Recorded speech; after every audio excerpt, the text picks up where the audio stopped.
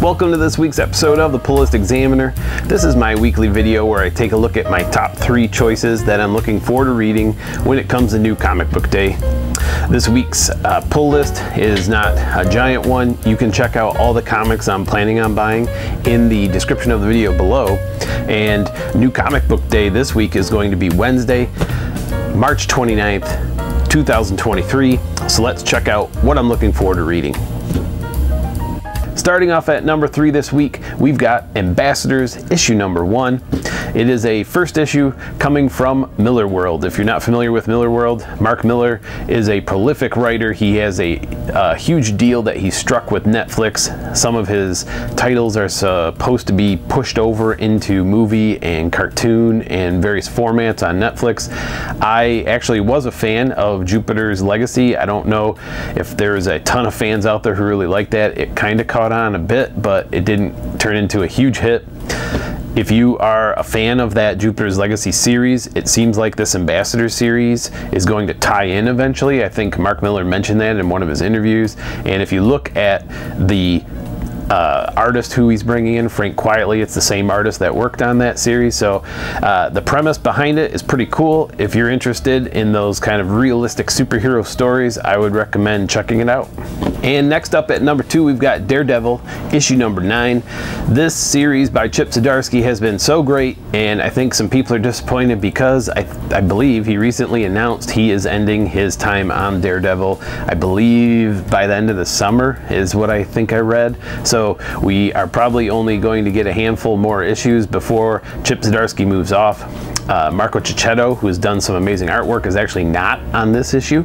So we'll see what happens with the art style, but overall, I have been very happy with this new plot line that started when they kind of rebooted with an issue number one. And I see now that Zdarsky's starting to tie back into some of those initial plot points from the first series, so that's kind of cool. But you've got Daredevil and Elektra, who uh, spoiler alert, they've got married and are now leading the hand into a huge battle so we'll see what happens. And at number one this week, we've got Gotham City Year One, issue number six. This is the final issue in this series.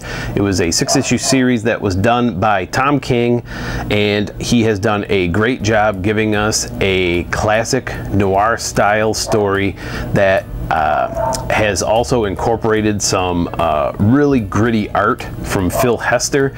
So it's just been a fun, readable story that ties back into Gotham, uh, into Gotham's roots, I should say, with uh, a couple generations back from what we're normally used to reading with the Bruce Wayne and his family. We're looking at what I think is like his great grandparents, and it's a very interesting story that if you like that classic mystery, murder mystery, film noir type style, this would be right up your alley. So I'm looking forward to seeing how it concludes, and hopefully you are too.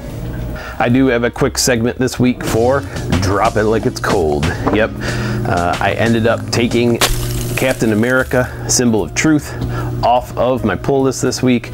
Um, the storyline had led up to, I think, issue 11, and they did a good job. And if you were a fan of the Captain America movie uh, that came out and the Captain America Winter Soldier series that came out over at Disney Plus, you probably would like that first arc. Uh, it looks like they're now going to take both the Symbol of Truth and Sentinel of Liberty, which are like the two separate Captain America titles at Marvel, and do some kind of crossover event.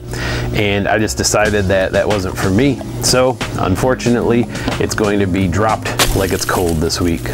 Thanks for watching this week's episode of the Pull List Examiner. If you do not subscribe, please click subscribe, click like, and remember to read them, bag them, and board them. And we'll see you next time on the next episode of the Pull List Examiner.